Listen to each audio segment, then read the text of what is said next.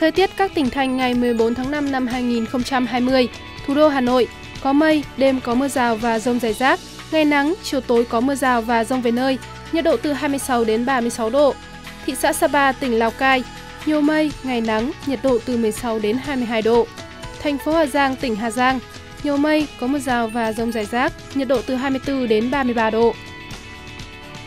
Thành phố Đà Nẵng, không mây, trời nắng, nhiệt độ từ 25 đến 33 độ. Thành phố Nha Trang, tỉnh Khánh Hòa, nhiều mây, trời nắng, nhiệt độ từ 26 đến 34 độ. Thành phố Hồ Chí Minh, nhiều mây, có mưa rào rải rác, gió nhẹ, nhiệt độ từ 28 đến 37 độ. Thủ đô Tokyo, Nhật Bản, không mây, ngày nắng, nhiệt độ từ 15 đến 26 độ. Thủ đô London, Vương quốc Anh, nhiều mây, ngày nắng, nhiệt độ từ 4 đến 14 độ. Thành phố New York, Mỹ, nhiều mây, ngày nắng, nhiệt độ từ 13 đến 18 độ.